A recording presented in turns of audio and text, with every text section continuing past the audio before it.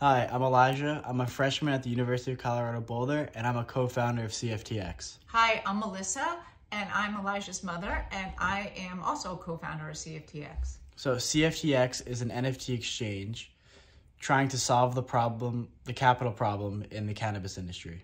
Currently, regulations state that all cannabis companies need to track their plants from seed to sale.